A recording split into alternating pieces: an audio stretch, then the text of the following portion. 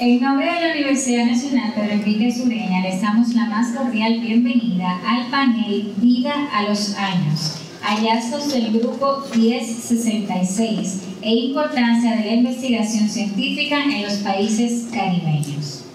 De inmediato procedo a ofrecer salutaciones a los miembros de nuestra mesa de honor, quien preside la licenciada Josefina Pepín, vicerectora de Proyectos, Investigación y Vinculación.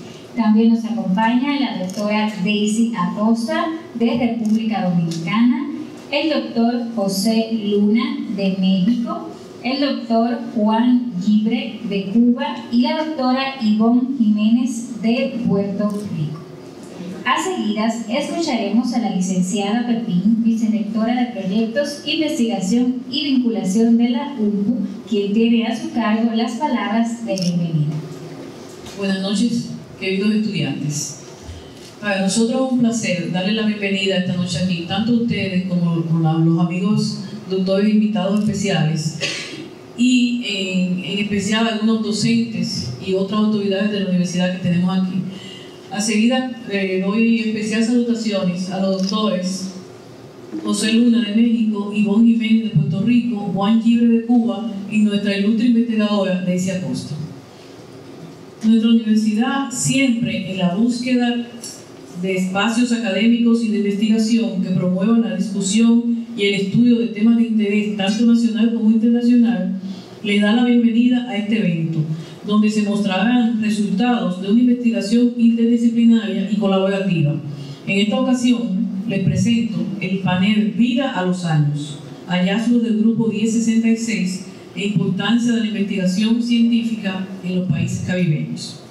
El objetivo de este panel es presentar los hallazgos principales de este grupo que lidera el Dr. Marty desde el Instituto de Psiquiatría, Psicología y Neurociencias del King College de Londres.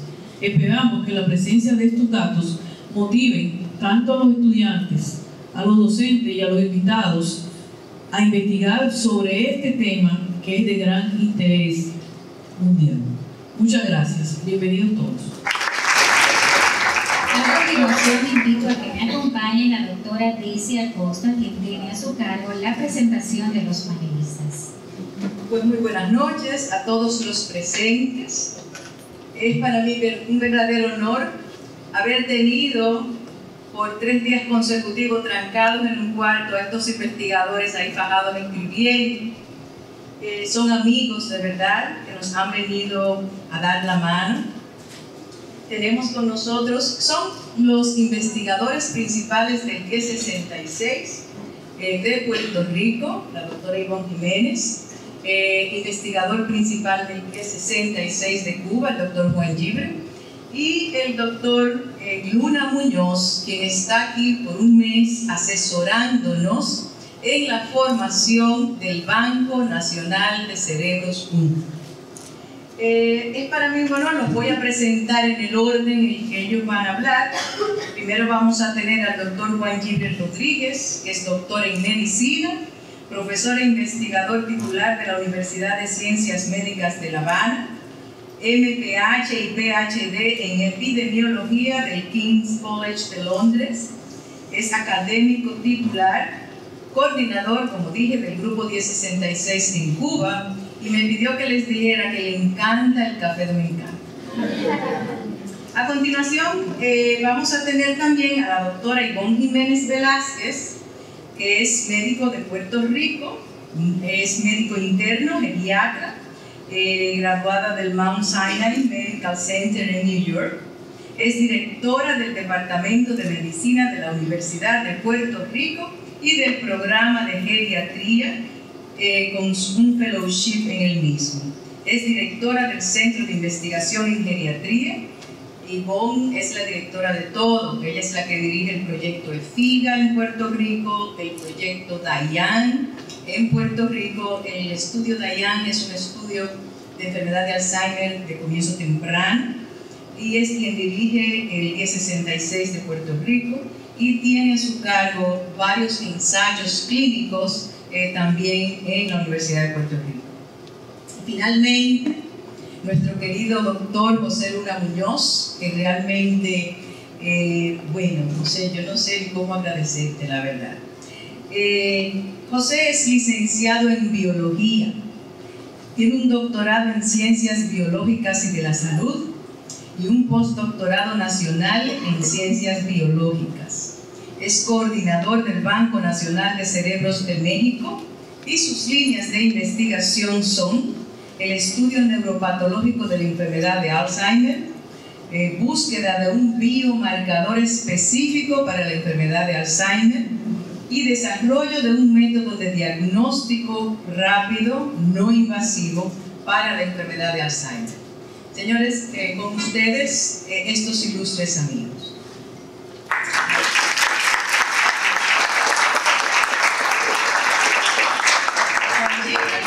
Nos va a hablar acerca de la epidemiología de las dementes.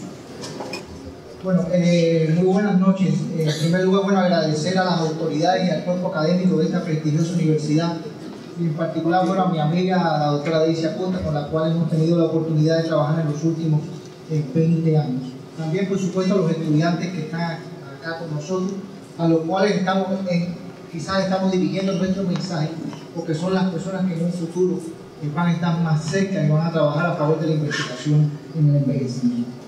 La presentación que vamos a hacer en la noche de hoy versa básicamente acerca de la epidemiología de las demencias en el Caribe y qué ha hecho básicamente este grupo de investigación que en los últimos 15 años, como les decía, se ha dedicado a trabajar en este eh, tema muy particular. Bueno, como es conocido, las demencias en general y la enfermedad de Alzheimer en particular se han convertido en un creciente problema de salud en todo el mundo. Si uno piensa, por ejemplo, en la población que tiene China, que tiene la India, que tiene la América Latina, se va a dar cuenta que el 70% aproximadamente de las demencias, de las personas que viven con demencia, van a vivir en estos países que son precisamente los países que menos preparados están para enfrentar el reto que representan las demencias. De hecho, hoy en día se estima que existen 50 millones de personas con demencia en el mundo, pero esta cifra se va a ir duplicando cada 20 años de forma tal de que aproximadamente en el año 2050 la cifra va a ser aproximadamente de 140, 147 millones de personas.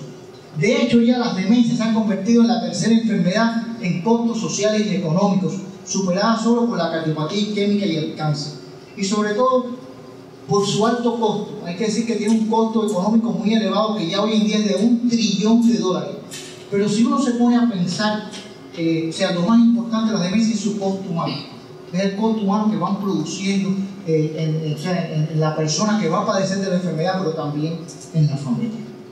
Bueno, ¿por qué es importante que nos dediquemos a, estudiar aquellas enfermedades que están relacionadas con el envejecimiento? ¿Qué diferencia el envejecimiento? En primer lugar, con el envejecimiento aumenta la, la prevalencia de enfermedades cardiovasculares y degenerativas. Digamos, aumenta la prevalencia de cardiopatía isquémica, de enfermedad cerebrovascular, aparece la demencia como un importante problema de salud. Ya decíamos que un 10% de las personas que sobrepasan los 65 años van a desarrollar una demencia. Aparecen las comorbilidades complejas, aumenta la discapacidad y las necesidades de cuidado y aparece la fragilidad, disminuye la seguridad los ingresos y, y la protección social. ¿Por qué es importante que nos dediquemos a los adultos mayores? Precisamente por la, elevada carga que producen y los costos elevados para la salud y la sociedad en general. Porque hay que reconocer que los servicios no son aún apropiados para las personas mayores en ninguno, en ninguno de nuestros países. Y sobre todo por el patrimonio humano, por esa experiencia humana que han, o sea, que han acumulado eh, los ancianos, las personas mayores. ¿Cuáles son los retos entonces? Bueno, lograr mayor equidad, efectividad, mejor accesibilidad de las personas mayores y que los servicios de salud sean apropiados a este grupo poblacional y tratar de disminuir sobre todo las necesidades de servicios de cuidados a largo plazo. Bueno, las demencias no son exclusivas de, las personas mayores. Por ejemplo, aquí nosotros estamos mostrando que las personas mayores hay que decir que aproximadamente en estudios histopatológicos 50% corresponde a la enfermedad de Alzheimer, eh, eh, se encuentra después la demencia vascular, la demencia frontotemporal, pero esta proporción en el adulto joven eh, cambia un poquito. Y aquí, por ejemplo, la enfermedad de Alzheimer disminuye su prevalencia y aparece con una prevalencia algo mayor la demencia frontotemporal. O sea que hay una diferencia entre demencias en personas jóvenes y demencias en personas mayores. Ahora, ¿qué hemos hecho nosotros? ¿Qué cosa es el, ¿Qué cosa es el grupo de investigación 1066? Bueno, el grupo de investigación 1066 es un grupo que está integrado con más de 100 autoridades académicas, que, surgió en el año 1998 con la idea de revertir ese desbalance que existía en investigaciones entre los países desarrollados y los países en vía de desarrollo. En aquel momento, solamente el 10% de las investigaciones sobre demencia se desarrollaban en los países en vía de desarrollo, que eran los que menos preparados estaban para enfrentar el reto que representaba la demencia decíamos que el 66% de las personas con demencia vivían o viven en los países en vías eh, de desarrollo. Tengo también que reconocer aquí y que señalar que si el 1066 es un, o sea, es un cuerpo bien constituido y reconocido en el mundo hoy en día, y sobre todo en América Latina y el Caribe, se debe a la, o sea, al trabajo, al intenso trabajo que desarrolló una dominicana, la profesora Daisy Acosta, que entrenó a todos los líderes de los diversos países en América Latina y el Caribe. Ella fue la persona que fue entrenando a cada uno de los países, de los, de los líderes de los países eh, latinoamericanos, y por eso muchas veces decimos que es la madrina del grupo de investigación 1066. Bueno, ¿qué hemos hecho nosotros? Básicamente entre el año 1999 al 2002 desarrollamos estudios pilotos para desarrollar y validar criterios de demencia en diferentes culturas de educación. Brindamos datos preliminares acerca de las necesidades de cuidado. Entre los años 2003 al 2007 desarrollamos los estudios poblacionales para conocer cuál era la prevalencia de demencia y otras enfermedades crónicas. ¿Cuál es el impacto de las demencias en términos de discapacidad, de necesidades de cuidado? ¿Cuál es la dependencia que producen las personas que viven con, con demencia? ¿Cuáles son los costos económicos de las demencias? ¿Cuáles son las facilidades de servicio que existen para las personas con demencia en nuestros países? Y paralelamente a ello, desarrollamos un, ensayo clínico controlado, entre comillas, que se llamaba Ayudando a los cuidadores a cuidar. Después, durante, el año, durante los años 2008 al 2011, desarrollamos un estudio longitudinal de incidencia para conocer la aparición de nuevos casos de demencia, de ictus, cuál es la mortalidad de las personas con demencia y de las personas mayores en general, cuál es la etiología de la demencia en nuestras poblaciones, cuál es el curso y el pronóstico de la demencia y en particular del deterioro cognitivo leve, que es algo que está muy relacionado con el desarrollo ulterior de una demencia. Y actualmente entonces estamos enfrascados en una nueva tarea que es desarrollar una segunda onda o una segunda ola de prevalencia es un nuevo estudio que estamos desarrollando aquí en los diversos países, incluidos la República Dominicana, y que lo que nos interesa es conocer qué ha pasado con la prevalencia de la demencia 10 años después en nuestros países. ¿Habrá aumentado o habrá disminuido? Eso tiene una importancia capital para el desarrollo de servicios de salud. Bueno, este es prácticamente el diseño, básicamente el diseño de la investigación es un estudio puerta a puerta, donde se aplican pruebas cognitivas, una entrevista clínica, una entrevista sociodemográfica y de factores de riesgo, un examen físico y neurológico exhaustivo.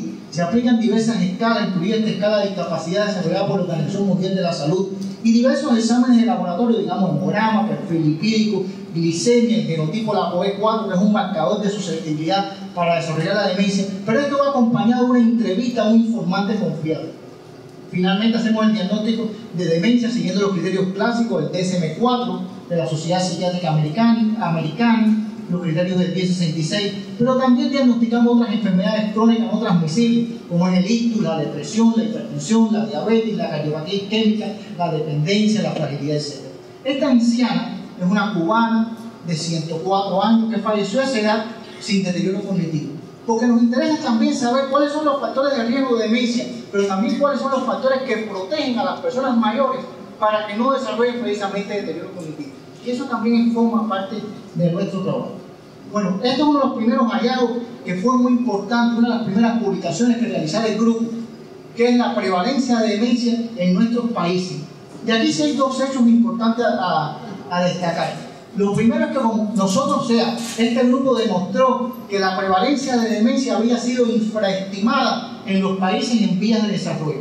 Hasta ese momento se decía que la demencia era un, problema de los países desarrollados. Y nosotros demostramos que no, que la prevalencia de demencia en nuestros países era tan alta como la prevalencia de demencia en Europa y Norteamérica. ¿Qué era lo que ocurría? Que clásicamente se aplicaban los criterios del DSM-4 de la Sociedad Psiquiátrica Americana, que son estos que están aquí, y nosotros aplicamos entonces estos criterios. Y fíjense lo que pasa. Los criterios del DSM-4 son criterios muy estrictos y que dicen que para que una persona tenga demencia el trastorno tiene que ser de suficiente intensidad como para interferir en la vida social y familiar de la persona. ¿Y qué ocurre en nuestras culturas? Que las familias ven los trastornos de memoria como parte normal del envejecimiento. Y habitualmente una persona tiene trastornos de memoria y la familia dice, no, eso es que está viejito, eso forma parte, y entonces no se reconoce, no se diagnosticaba la demencia hasta ese momento. Esa es una de las primeras cosas. Fíjense que alta es la prevalencia de demencia cuando aplicábamos estos criterios. Y lo segundo, noten ustedes que las prevalencias más altas de demencia se concentran precisamente en las islas del Caribe, en Puerto Rico, Cuba y República Dominicana. Este es, por ejemplo, esta es la prevalencia de demencia, por ejemplo, en Cuba. Nosotros la comparamos con los estudios con el Euroden, que es un metaanálisis de 14 estudios europeos. Y fíjense, cuando nosotros aplicamos la, prevalencia siguiendo el criterio del 1066 en Cuba, la prevalencia de demencia es más alta que la prevalencia que se reportaba en Europa. ¿Y por qué ocurre esto? Bueno, por una razón muy sencilla. Ambos países, tanto en Cuba como en el continente europeo, las poblaciones han envejecido enormemente. Pero a diferencia de Europa, donde las personas conservan estilos de vida saludables, digamos, las personas hacen ejercicio, tienen un manejo más adecuado de la hipertensión arterial, ingieren frutas, vegetales, pescado. Todavía nosotros nos encontramos en la tercera etapa de la transición epidemiológica. O sea, vivimos mucho, pero vivimos con altos factores de riesgo como obesidad, con diabetes, con hábitos de fumar. Y esa es una primera explicación a ese problema. Esto, por ejemplo, lo que ocurre en República Dominicana, para que ustedes se den cuenta la alta prevalencia de enfermedades crónicas que existen en nuestros países. Por ejemplo, cuando usted, aquí lo estamos comparando con, con, el Estudio Nacional de Salud de los Estados Unidos, la prevalencia de determinadas enfermedades acá en la República Dominicana. Fíjense cómo la prevalencia de diabetes es menor. Y esto está en relación porque la prevalencia de obesidad en la República Dominicana es menor que en los Estados Unidos. Pero sin embargo, la prevalencia de hipertensión arterial es mayor en República Dominicana que en los Estados Unidos. Fíjense la razón de movilidad estandarizada. La prevalencia de síndrome metabólico es más baja, lo cual es bueno. La prevalencia de ictus es muy similar que la enfermedad cerebrovascular, pero la prevalencia de demencia, eh, siguiendo los criterios del DSM-4, es más alta, es, es inferior cuando aplicamos los criterios del DSM-4, pero más alta cuando aplicamos los criterios del 1066. Y hay otro aspecto señalar. Fíjense que alta prevalencia de anemia hay acá en la República Dominicana. Tres veces mayor que la que se reporta en Estados Unidos. ¿Y cuáles son las necesidades de cuidado que producen la demencia? ¿Cuál es el impacto, las consecuencias que producen la demencia para la persona y para su familia? Fíjense, nosotros hemos comparado aquí, de acuerdo a estos estudios que hemos realizado, cuál es la prevalencia de depresión, por ejemplo, en Cuba 1,5%, depresión mayor, por supuesto, y este es el objeto para necesitar cuidado. Si un anciano está deprimido, si una persona mayor está deprimida, tiene un riesgo dos veces mayor de necesitar cuidado que si no está deprimido. Si tiene, una, tiene tres o más enfermedades, tiene un riesgo casi dos veces mayor de necesitar cuidado. Si, si, ha, si ha sufrido un ictus, tiene un riesgo 2,5 veces mayor. Pero si esa persona sufre de demencia, las necesidades de cuidado se multiplican, son 17 veces mayor que si esa persona no sufre de demencia. Quiere decir que la demencia es la enfermedad o es el síndrome que mayores necesidades de cuidado produce en nuestras poblaciones. Y eso es algo importante, porque si el día que aparezca la cura para la demencia, que aparezca esa vacuna milagrosa que todos estamos buscando, las necesidades de, de ser cuidado de una persona mayor disminuirían en un 65 a un 70%. Fíjense, que de aquellos que necesitan cuidado, de aquellas personas, si ustedes van a, un, a una casa, a un lugar, de esas personas que necesitan, que están cuidados permanentemente por su familia, el 80% tiene una demencia. Esta es la incidencia de demencia. Esto fue lo que hicimos después, entre el año 2007 al 2011. ¿Cuál era la aparición de casos nuevos? Fuimos cuatro años después a las casas de, las personas y vimos cuántos casos nuevos aparecían. Y esta es la incidencia de demencia en Cuba, República Dominicana, Perú y así sucesivamente. Ahora, aquí hay algo muy interesante y es lo siguiente. La incidencia de demencia en, en nuestros países es alta. Cada vez con los, con los logros que, que, estamos experimentando en salud, las personas con demencia van a vivir más y como la prevalencia es, el producto, la incidencia por la duración, es como si fuera esta bañadera. ¿Qué quiere decir eso? Que si nosotros continuamos reduciendo la mortalidad, esta bañadera va a ir aumentando el nivel del agua, va a ir aumentando y va a ir aumentando y cada vez van a vivir más personas con demencia. Eso es bueno, porque habla de los logros del sistema de salud, pero también quiere decir que cada vez nuestros gobiernos van a tener que ir invertir e invertir e invertir mucho más desde el punto de vista económico en este creciente problema de salud. Bueno, resumiendo, vamos a decir, ¿cuál es la, demencia, qué ocurre con la demencia en el Caribe hispano? En el año 2015, nosotros estamos estimando que, entre, en Cuba, República Dominicana y Puerto Rico viven aproximadamente 380 mil personas con demencia. Y si usted dice 380 mil personas con demencia, aparentemente eso no significa nada, pero 380 mil quiere decir que el 1,3% de la población en nuestros países vive con demencia, 1.3%. Pero ese número va a ser de 530 mil personas en el año 2030. ¿Quién va a cuidar a esas personas con, las con la alta migración externa que existe en nuestros países, con la, alta migración de jóvenes? ¿Quién va a cuidar a esas personas? Bueno, uno de cada seis, uno de cada cuatro a seis ancianos muere por enfermedad de Alzheimer u otra demencia. Estamos reportando 66 mil casos nuevos por año, o lo que es lo mismo, un caso nuevo cada cinco minutos en nuestra región. Pero también hay que decir que el 60% de esos casos no están diagnosticados se diagnostican cuando están en un estadio moderado a severo de la enfermedad. Y finalmente, los costos, ya lo decíamos, 3,5 billones de dólares anuales, elevados, y estamos encontrando también elevados niveles de estrés y sobrecarga a los cuidadores. Entonces, esto vamos a hablar brevemente de qué estamos encontrando. Estos son los factores de riesgo, por ejemplo, que nosotros encontramos de demencia incidente en Cuba. Y aquí sí podemos hablar de causalidad porque como es un estudio longitudinal, nosotros medimos la exposición antes de la aparición de la demencia. Y noten ustedes, por ejemplo, que si una persona sufrió un ictus, una enfermedad cerebrovascular, tenía un riesgo tres veces mayor. Si esa persona sufrió un episodio depresivo, antes tuvo, tiene un riesgo casi dos veces mayor. Si es portador de este genotipo, la POE4, tiene un riesgo casi dos veces mayor. Pero lo interesante es que en nuestras regiones que tienen un alto grado de mestizaje, esa asociación de la POE4 con demencia es más débil que la que se reporta en las poblaciones caucásicas, las poblaciones, eh, o sea, eh, europeas.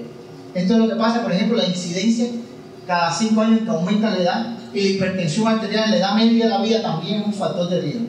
Pero fíjense que también hay un grupo de factores protectores que hemos encontrado que las personas que tienen un mayor nivel de educación, aquellas personas que alcanzan estudios universitarios, aquellas personas que con frecuencia eh, desarrollan actividades de tipo intelectual. Esto, por ejemplo, que están haciendo ustedes de asistir a este panel, es un protector también para el desarrollo de demencia, por lo tanto, estamos comenzando esa parte del entrenamiento. Pero también hemos descubierto, por ejemplo, que si, la mayor circunferencia craneal y mayor longitud de la pierna también son factores protectores de, de demencia. ¿Qué quiere decir eso? Dicho de otra forma, las personas que son cabezonas y que tienen las piernas largas tienen menos riesgo de demencia. Y, ahora uno se pregunta, ¿qué tiene que ver ser cabezón, tener las piernas largas? Bueno, son factores relacionados con el neurodesarrollo, al cual vamos a referirnos eh, muy breve posteriormente. Miren, esto es lo que, miren, fíjense la importancia, por ejemplo, de, la depresión, lo que nosotros estamos reportando en, nuestros países. Miren, y ahí es la importancia de, que ustedes como médicos en un futuro tratar la depresión, diagnosticarla y tratarla adecuadamente. Miren, si una persona sufre una depresión antes de los 65 años, esta es la razón de riesgo de desarrollar demencia. Pero si es después de los 65 años, esa razón de riesgo aumenta un poquito más. Y si esa persona sufrió un episodio depresivo antes y después de los, 65 años, tiene un riesgo mayor. O sea que hay una tendencia lineal. Y miren la tendencia también con el número de episodios. Si una persona tiene un episodio o si tiene dos episodios depresivos. Por lo tanto, la depresión es un factor de riesgo modificable de demencia encontrado en nuestra población. Es la relación, por ejemplo, entre la APOE4, que es este marcador de susceptibilidad que yo le decía para, realizar para desarrollar la enfermedad. La APOE4 es un marcador genético está muy relacionado con el transporte de las lipoproteínas. Y fíjense cuál es la, o sea, el riesgo en Cuba, República Dominicana, Puerto Rico y Venezuela. Si una persona tiene uno o dos alelos, la POE4, esta es la razón de riesgo, 1,5. Si la persona tiene un alero y si tiene dos aleros, fíjense que es casi tres veces mayor. Para demencia en general, para enfermedad de Alzheimer, es dos veces mayor. ¿Qué no hemos encontrado en nuestras poblaciones? Algo que había sido reportado en poblaciones caucásicas. El efecto protector de la apoedos. Nosotros no lo hemos encontrado. Se ha dicho que la apoedos tiene un efecto protector de cardiopatía isquémica, de enfermedad cerebrovascular, de demencia, de Alzheimer. Nosotros no lo encontramos en nuestras poblaciones. Y hemos encontrado una atenuación también del efecto de la POE4 en personas con mayores ancestros africanos en Cuba y República Dominicana. ¿Qué quiere decir eso? Que mientras mayor sea el, grado de mestizaje, mayor es la prevalencia de este, de este genotipo, la POE4. Pero después vamos a mostrar otra cosa en relación con esto.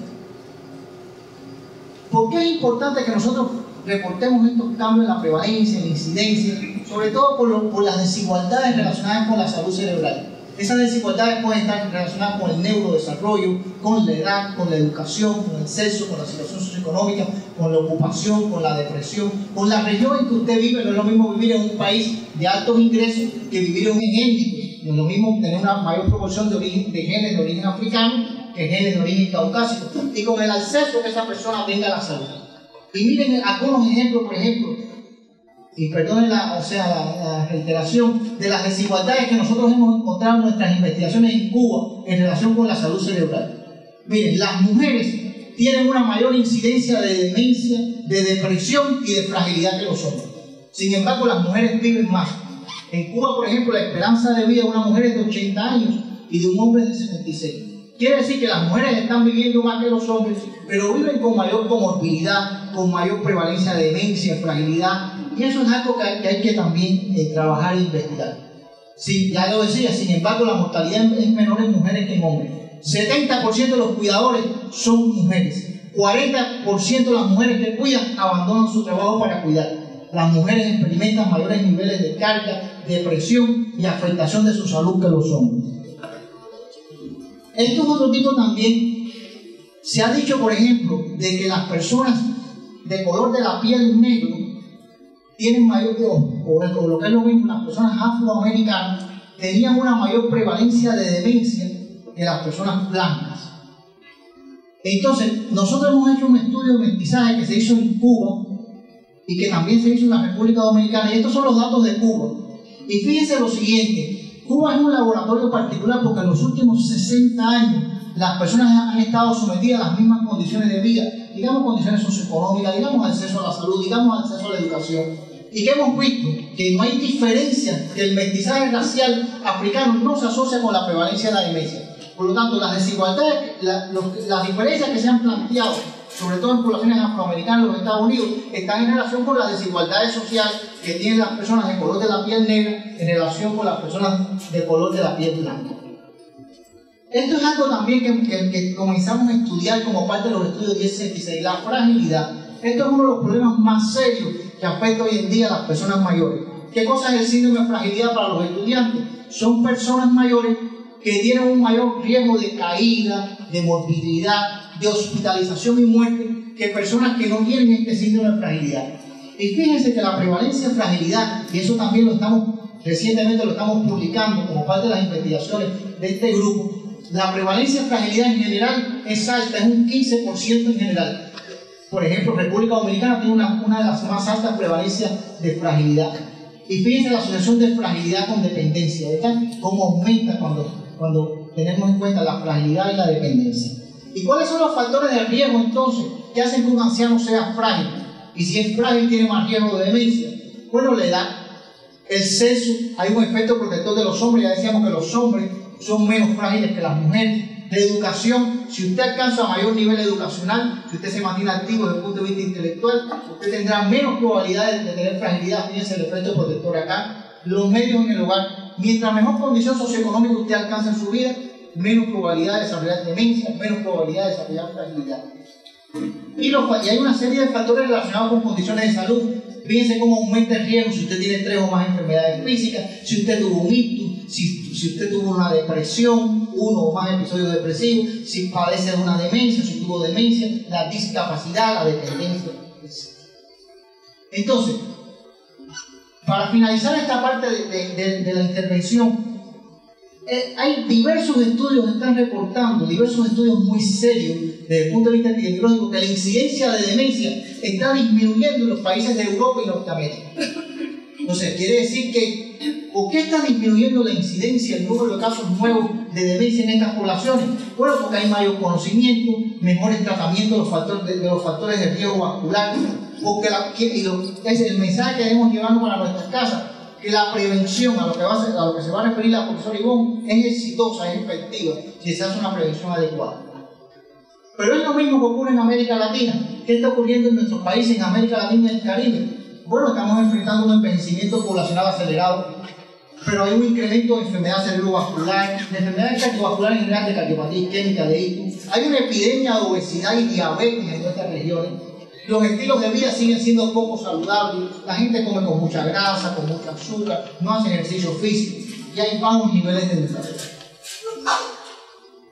Esto es una comparación que nosotros hemos realizado entre diferentes, entre diferentes estudios. Este es un estudio nacional de, factores de riesgo en Costa Rica, el CRELE, en Cuba, República Dominicana y México. Muy, muy breve. Fíjense cómo en Cuba la gente fuma personas de 65 años y más, el 21% siguen fumando.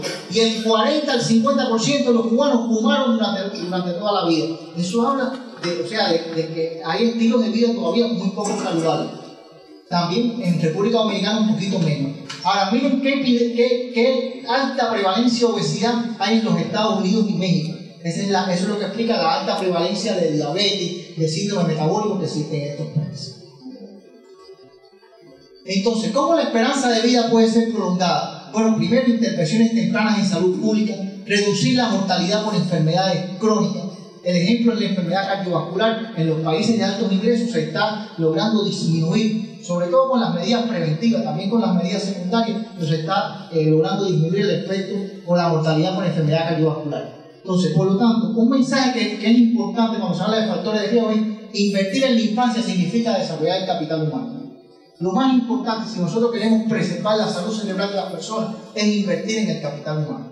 Estos son algunos ejemplos. O sea, Cuba, por ejemplo, tiene una cobertura de educación del 98%, 0.2% iletrado, una mortalidad infantil en 4%. Y eso, sin lugar a dudas, una esperanza de vida de 80 años. Eso, sin lugar a dudas, es invertir en el capital humano. Bueno, ¿cómo se puede promover la salud cerebral? Bueno, integrar las políticas de salud con la prevención en las agendas de las enfermedades no crónicas no, eh, no transmisibles. Hay un ejemplo es control del tabaco, la sal, el alcohol, inactividad, manejo de los factores cardiovasculares. Nunca es demasiado temprano para trabajar en educación, en nutrición, en hipertensión, ni tampoco nunca será demasiado tarde para abandonar el hábito de fumar la diabetes. Estos son algunos mecanismos potenciales del cerebro en la estrategia de prevención, incrementar la reserva cognitiva cerebral, reducir el daño cerebral, vascular, neurotóxico, el estrés oxidativo y reducir la inflamación cerebral. Yo no me voy a referir a él porque sé que la, la doctora Ivonne Jiménez va a, hablar sobre él. Entonces, ¿en qué fase estamos ahora? Estamos en una fase 3. Decía que estamos haciendo un nuevo estudio de prevalencia e incidencia 2016 al 2018 y nos interesa conocer cuáles son los cambios 10 años después la prevalencia e incidencia de las enfermedades crónicas y sus factores de riesgo subyacentes. ¿Cuáles son los factores de riesgo cardiovascular? Tensión arterial, fumar, glicemia, colesterol. ¿Cómo influye la dieta en el desarrollo de, la demencia, en el envejecimiento, la anemia, el déficit de vitamina B12, el hipotiroidismo, las medidas antropométricas? ¿Qué pasa con la ApoE y los otros factores Y finalmente hay un grupo de países que va a trabajar sobre marcadores inflamatorios y de inmunosenescencia. Yo tuve la oportunidad de asistir con la doctora Delicia Costa, cómo están eh, o sea, visitando a las personas, haciendo extracciones de sangre para estudiar marcadores biológicos muy interesantes aquí en la República Dominicana. Y sobre todo intervención, implementar y evaluar programas de cuidado para ancianos frágiles o dependientes, entre los cuales existe una alta prevalencia de depresión, deterioro cognitivo y demencia, y trabajar en un futuro en, posibles biomarcadores de enfermedades de Alzheimer en la vida. Bueno, muchas gracias por la atención.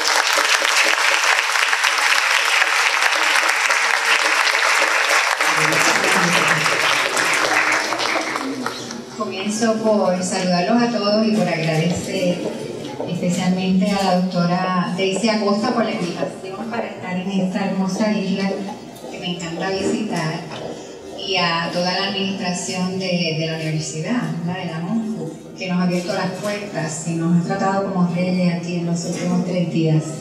Es un placer para mí poder dirigirme a ustedes y tocar un tema que realmente me apasiona. Es un tema que me parece sumamente importante y bien, bien interesante. Para empezar, quisiera saber cuántos de ustedes conocen de cerca a alguna persona que ha padecido la condición de Alzheimer, o algún familiar o algún amigo cercano. O sea que la mayoría sabe de lo que estamos hablando, ¿verdad? Vamos a ver. No tengo ninguna relación con farmacéuticas ni nada que tenga que aportar.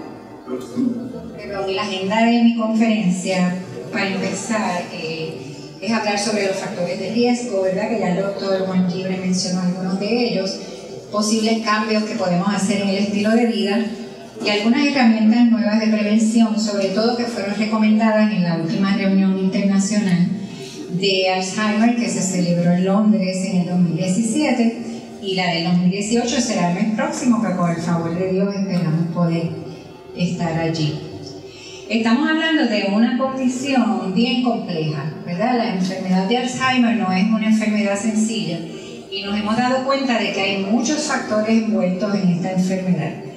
Quizás es por eso que no se ha conseguido todavía la cura que todos deseamos, estamos buscando, como dice el doctor Libre, pero sí podemos hablar de los distintos factores que se han podido entender y analizar, como factores genéticos, cambios en el ambiente, cambios en el estilo de vida y también la coexistencia de distintas condiciones médicas que pueden afectar el cerebro. Como vemos aquí en esta gráfica, tenemos una enfermedad multifactorial donde puede haber comenzado la enfermedad mucho tiempo antes de nosotros empezar a tener algunos síntomas. Y eso hace más importante el área de la prevención. Tiene una patofisiología, ¿verdad? Como decimos en medicina, bien compleja. Y hay distintos tipos de, de demencias. Podemos hablar de las personas que producen exceso de proteína, una proteína que se deposita de una manera tóxica al cerebro usualmente esto se ve en los pacientes de comienzo temprano, mientras que podemos tener también deficiencias en la eliminación de estas proteínas y esto se ve más en los pacientes mayores, cuando la condición es de comienzo tardío. Podemos tener problemas linfáticos, problemas circulatorios, problemas de oxidación, envejecimiento temprano del cerebro, podemos tener inflamación y la muerte cerebral por apoptosis, que es como un suicidio neuronal y la posibilidad de algún proceso infeccioso que se ha visto en algunas demencias y no sabemos si en otras también esto tenga eh, algo que ver. En esta gráfica que se ve así bien complicada podemos ver las distintas condiciones neurológicas que pueden terminar en una demencia, como por ejemplo la enfermedad de Parkinson, la enfermedad de Huntington, la esclerosis amiotrófica lateral y la enfermedad de Alzheimer y que tienen en común todas estas condiciones, que todas tienen algún tipo de proteína diferente que se forma, que se convierte en tóxica al cerebro y al final pues van produciendo la muerte de las neuronas. El diagnóstico de Alzheimer, mientras más temprano podamos hacerlo mejor, podemos comenzar con la etapa de la disfunción cognitiva, cuando estamos así un poquito despistados y olvidadizos, pero afortunadamente no todos los despistados y olvidadizos desarrollamos demencia, así que podemos tener esperanza que es probable que, que no todos. En un comienzo, cuando empezaron a salir todos estos conceptos, eh, se decía que todo el que comenzaba a desarrollar estos cambios pues iba demente. Igual se decía que todo el que tenía alguna mutación o un APOE4 pues inevitablemente iba a desarrollar la demencia pero afortunadamente hoy en día podemos hablar de una manera un poquito más positiva, porque se han encontrado algunos genes que protegen, se han encontrado algunas cosas que sí pueden ser beneficiosas para el cerebro y ayudarnos a combatir la enfermedad antes de que se desarrolle o antes de que se manifieste. Aquí vemos las distintas etapas. Para pasar esto rapidito, podemos ver, si vamos a hablar de prevención, eh, qué podemos hacer. Si es una enfermedad que todavía no se ha encontrado la cura, pues lo más que podemos hacer es tratar de evitar que se desarrolle o tratar de hacer más lento el progreso de la enfermedad, que es lo que intentamos cuando le recetamos a un paciente los medicamentos que tenemos en el mercado, que son básicamente el Aricept y el Namina. Eh, modificar los factores de riesgo, pues es la manera más eh, inteligente de uno tratar de evitar esta enfermedad.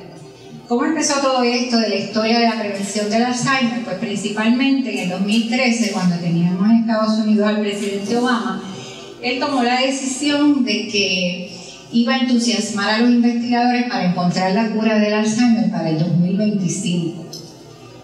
Y lo primero que hizo fue hacer una reunión en Londres que le llamó el Summit del G8, donde invitó representantes de los ocho países más ricos del mundo para darle a ellos esa responsabilidad. Vamos a ver cómo ustedes desarrollan investigación y encuentran la cura para esta enfermedad.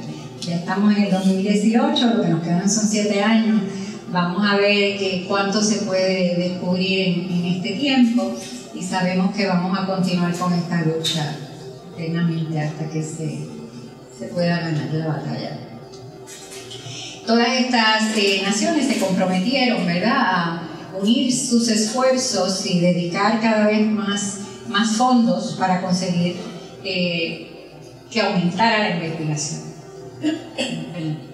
Y aquí podemos hablar de los factores de riesgo de dos tipos, los que no podemos modificar y los que sí podemos modificar. Obviamente no podemos modificar ni el sexo ni la edad, ni tampoco la genética que heredamos de nuestra familia, ¿verdad? Pero esos sí son factores que definitivamente no son modificables aparentemente por nosotros, pero sí se ha descubierto que estos genes protectores pues, pueden sí eventualmente hacer que no se exprese una genética negativa o que se exprese una protección para el cerebro, algo positivo en la genética. Los factores de riesgo modificables son muchos, afortunadamente, el doctor Gibre mencionó muchos de ellos, la poca escolaridad, que sabemos que es algo que, que perjudica el tener un estilo de vida muy sedentario. ¿Cuántos aquí hacen ejercicio? Van al gimnasio, caminan. Doctora, ¿usted hace ejercicio? ¿Usted la mano? Usted es nuestro role.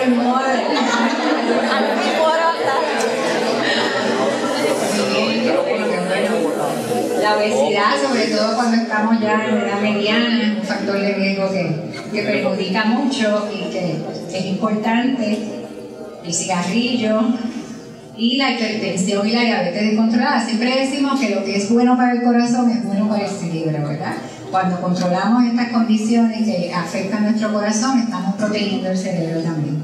Y la depresión, que se presenta por primera vez ya en una edad mediana o en una edad avanzada, pues es un factor de riesgo muy grande para desarrollar más deterioro en el cerebro. Y unos factores de riesgo que se han ido mencionando del 2016 para acá es tener el colesterol alto, sobre todo de la edad mediana en adelante, el desarrollar fibrilación atrial en edades avanzadas, imagino que da problemas circulatorios en, el cerebro, y también el tener enfermedad crónica del riñón. Son cosas que eventualmente van a afectar nuestro cerebro. Bien, los estudios sobre prevención de Alzheimer llevan ya varios años los primeros que se, que se conocen empezaron alrededor de 1997 y estaban enfocados en el aspecto nutritivo. ¿qué podemos ver en la nutrición que nos ayude a nuestro cerebro?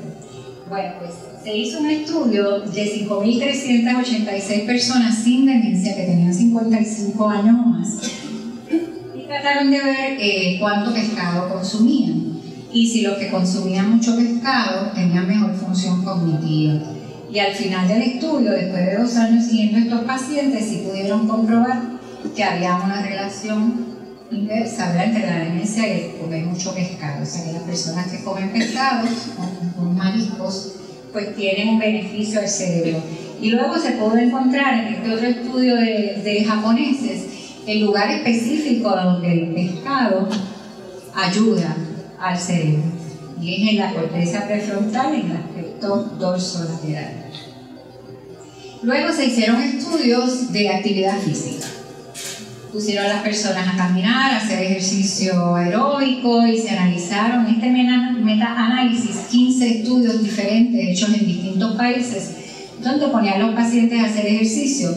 Y al sumar todo esto, tenemos más de 33.800 personas en el estudio mayores de 65 años, lo que es una data bastante contundente en cuanto a sus resultados y se pudo demostrar que tener un ejercicio físico moderado o bastante intenso, significativamente protege el cerebro. Y les puedo decir sinceramente que después de revisar toda esta literatura, lo único que podemos decir que protege el cerebro y realmente puede evitar en cierto grado el Alzheimer es el ejercicio físico. Así que me parece que, que no está saliendo a caminar todavía, debe tomar una decisión importante esta noche.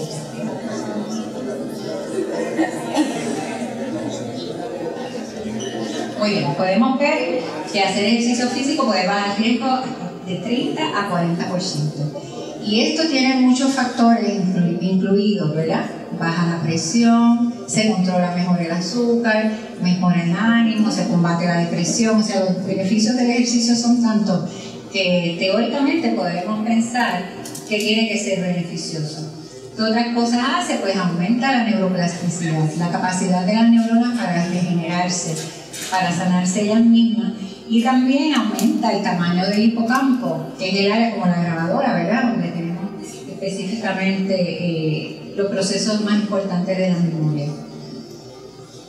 Bien, luego empezaron a hacer unos estudios combinando todas estas cosas. Aquí el estudio SMART, el estudio inteligente, comparaba los ejercicios aeróbicos con ejercicios de levantar pesas versus ejercicio mental y las personas que estaban en placebo que empezaban a hacer algún tipo de, de jueguitos en la computadora pero que no eran tan beneficiosos para el cerebro. No todos los jueguitos que hacemos en la computadora o en el celular son beneficiosos para el cerebro, ya mismo le voy a hablar de algunos que sí son buenos.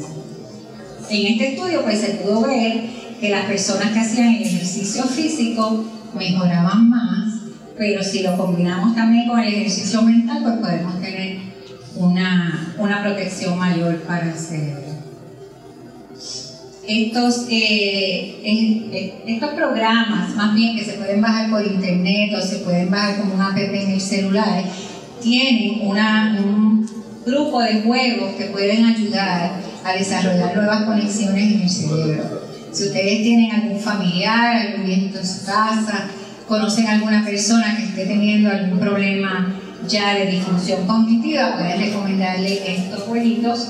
Son muy interesantes, algunos de ellos, como el lumosity.com en la computadora, nos da un análisis de las áreas del cerebro que tenemos que mejorar, las áreas donde tenemos problemas, y habla de la velocidad del pensamiento, de nuestra capacidad para resolver cálculos matemáticos, nos ayuda en muchas áreas y nos da un buen análisis de cómo vamos. El iPhone Brainwell se baja en el celular, los jueguitos son gratis.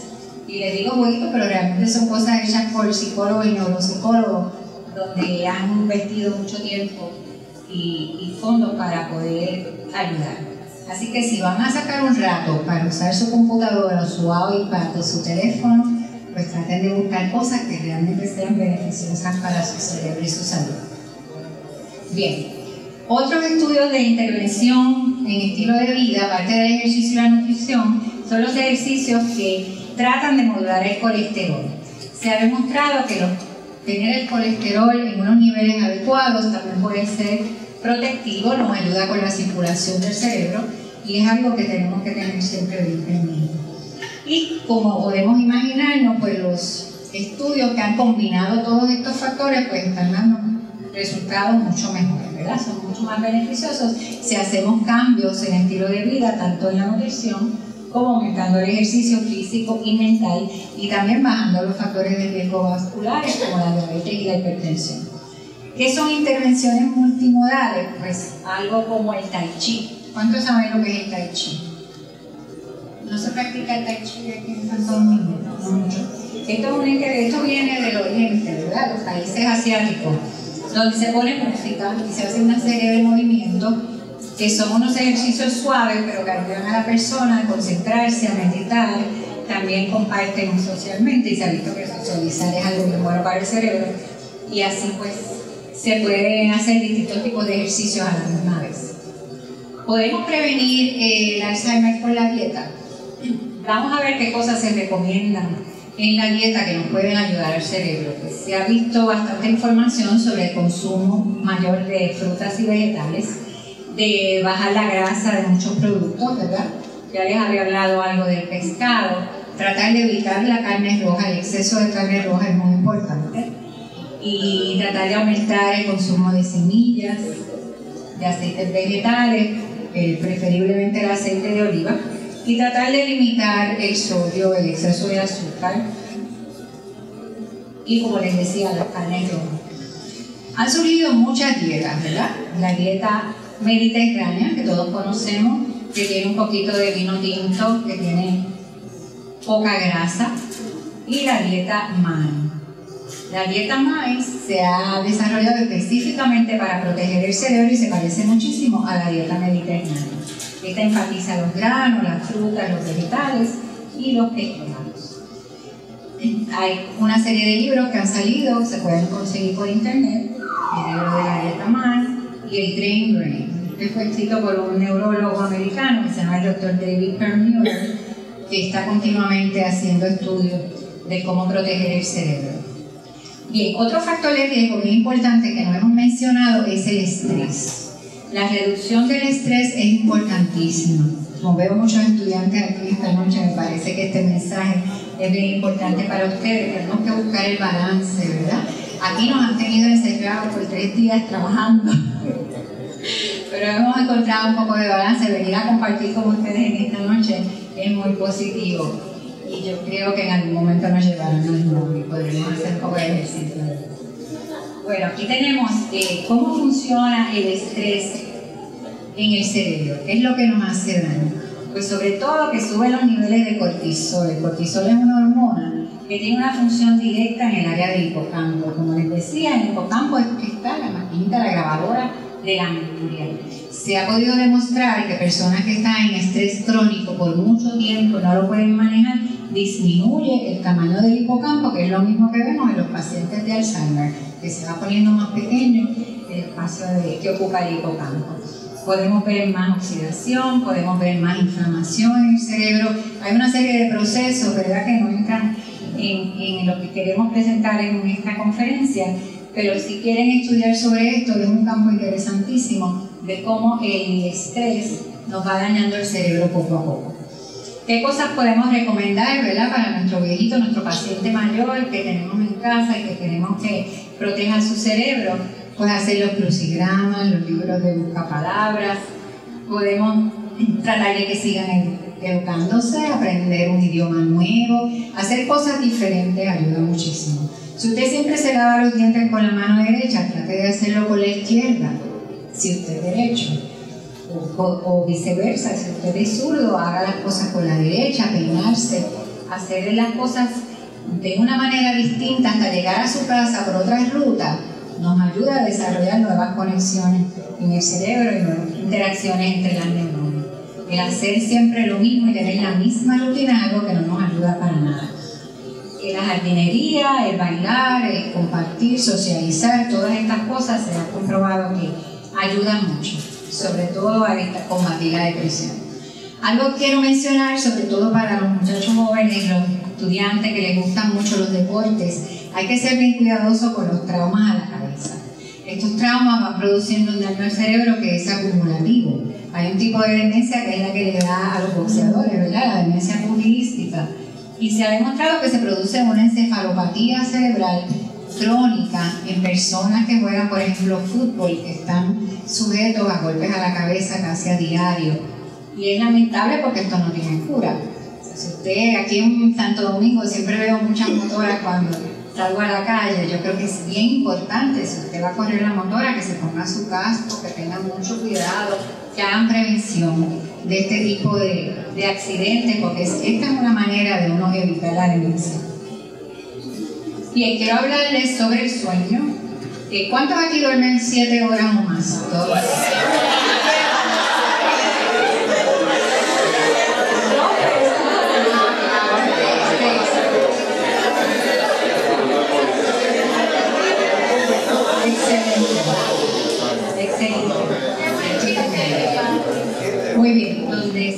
Visto que cuando se medita o se ora o se reza o dependiendo de la religión que cada persona tenga, eh, esta eh, capacidad del cerebro para concentrarse y mantenerse concentrado también es algo que aumenta el tamaño del hipocampo.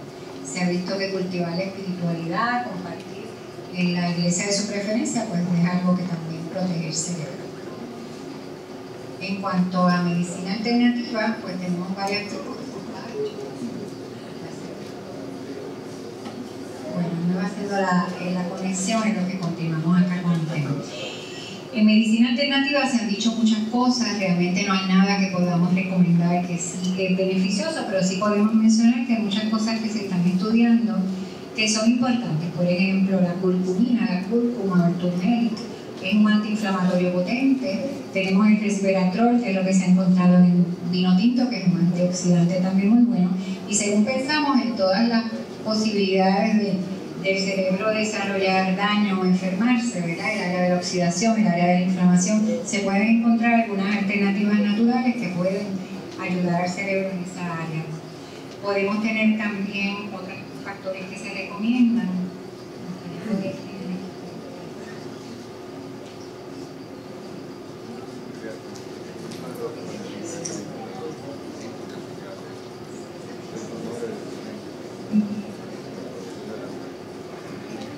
que son cosas de medicina alternativa como el magnesio, la creatinina.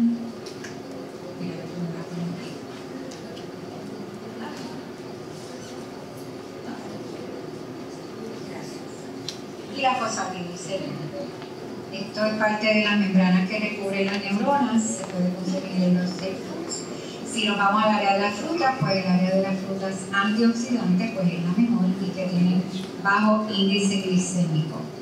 El aceite de coco, se están haciendo algunos estudios sobre esto. Hay una doctora pediatra en Estados Unidos que dice que su esposo mejoró mucho tomando aceite de coco, tiene una demencia temprana y se están haciendo algunos estudios sobre esto.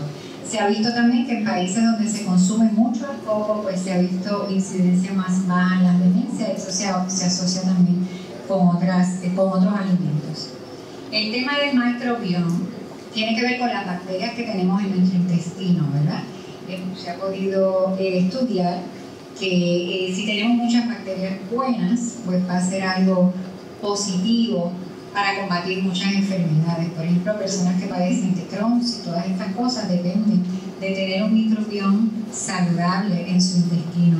Y se ha visto en estudios recientes que también podemos influir tomando lactobacilos, haciendo una, unas comidas eh, saludables que podemos mejorar nuestro cerebro.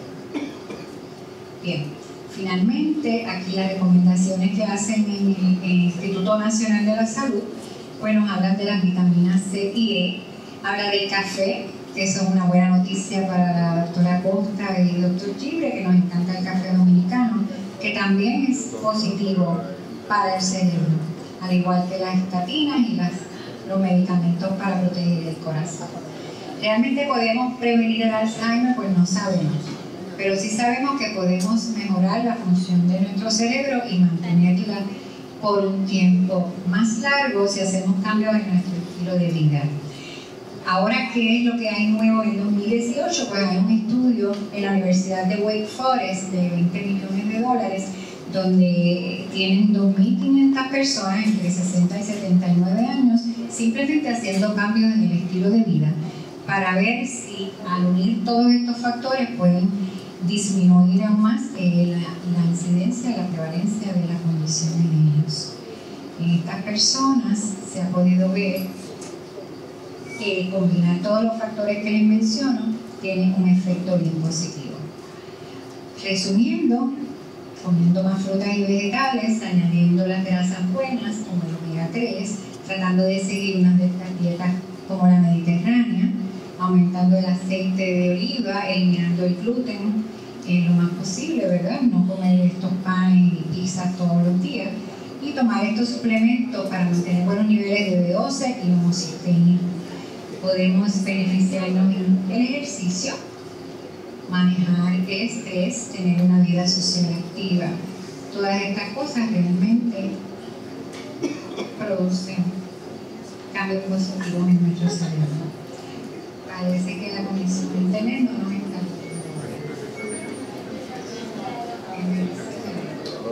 pero ya estamos terminando solamente me falta enseñar una cita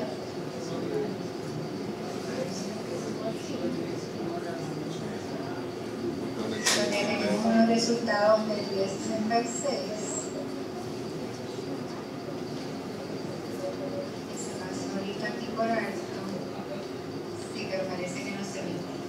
pudimos demostrar en Puerto Rico que si en el estudio que hicimos de los 2.000 pacientes, que los que consumen mucho pescado tienen mucho menor función cognitiva que los que consumen carne roja a diario.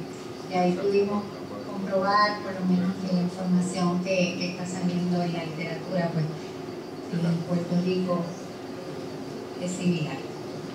Bueno, pues le doy las gracias por su atención.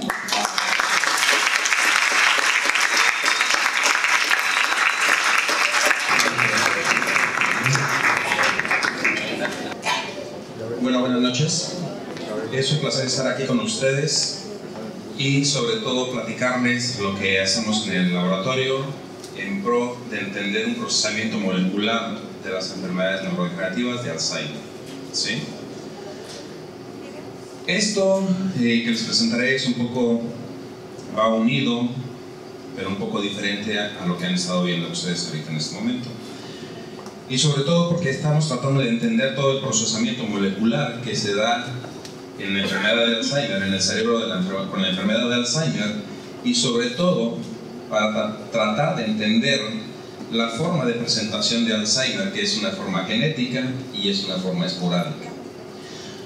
La forma genética está involucrada obviamente mutaciones en tres proteínas, que es la proteína precursora de amiloide, bueno, en los genes, de la proteína precursora de amiloide, la presenilina 1, presenilina y presenilina 2.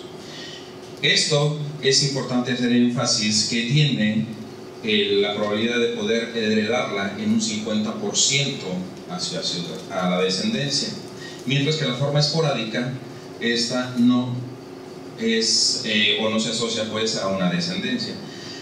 Y esta es el, la mayor cantidad del número de casos que se presentan, siendo el 95% estas enferme, esta enfermedad de este tipo esporádico. La enfermedad de, de, la forma genética se desarrolla alrededor de los 45 años y esto es muy importante porque en realidad cuando nosotros hacemos o cuando las personas empiezan a tener las alteraciones clínicas iniciales, esto realmente no es el inicio de la enfermedad. ¿sí?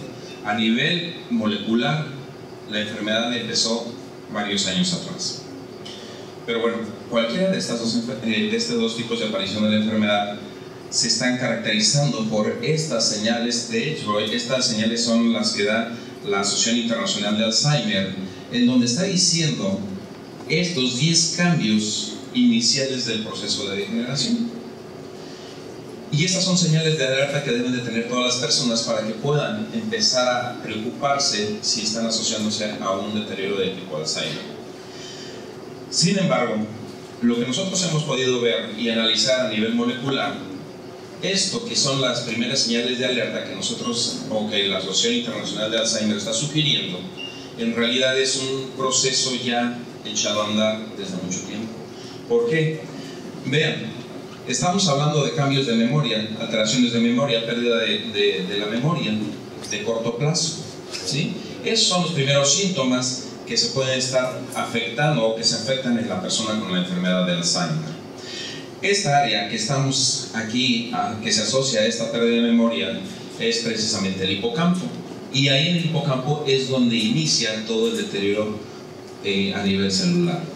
Sin embargo, después hablan ¿sí? dificultad para desarrollar actividades, para planear y resolver problemas, dificultad para comprender imágenes, espacio-tiempo, desorientación en espacio-tiempo, disminución del buen juicio o falta de juicio. Ahí estamos empezando a hablar ya de alteraciones, tanto de corteza frontal como la corteza temporal. Y estas son las áreas que finalmente se empiezan a deteriorar. Quiere decir que entonces estos 10 síntomas que nosotros estamos viendo no es realmente una parte inicial, ¿sí?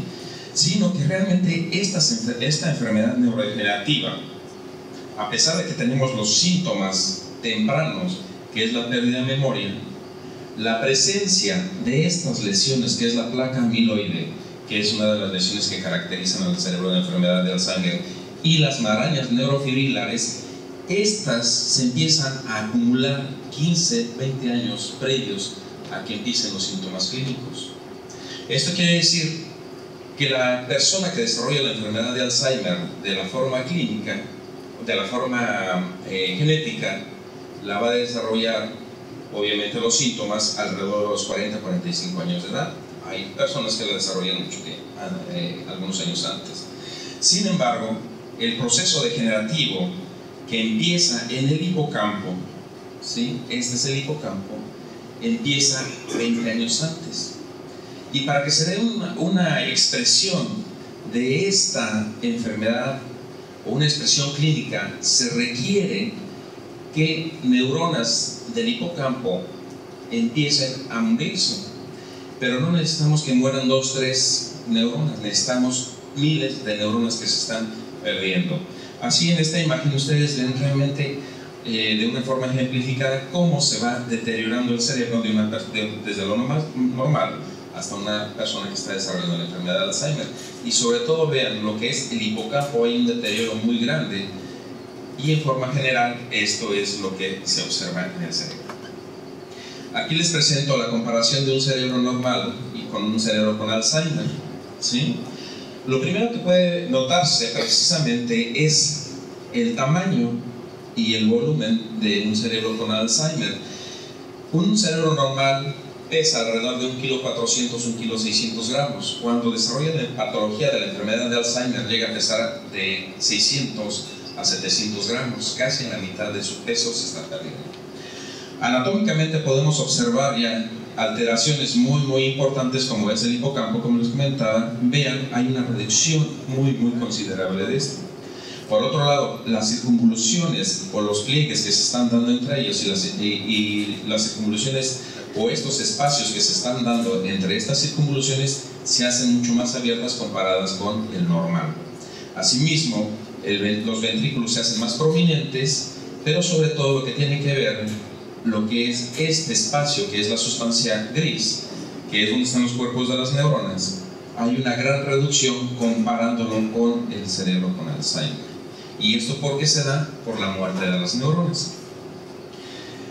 Sea cual sea el origen de la enfermedad de Alzheimer, se caracteriza por estas dos lesiones, las marañas neurofibrilares que son o lo que representan la muerte neuronal.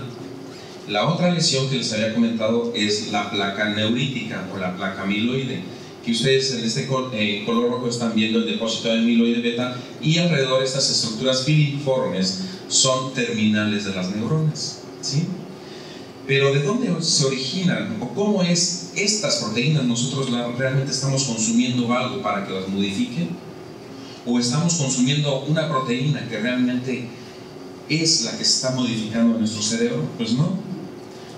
Este depósito de amiloide beta se origina de una proteína transmembranal ¿sí? que se encuentra en las neuronas y que se llama proteína precursora de amiloide.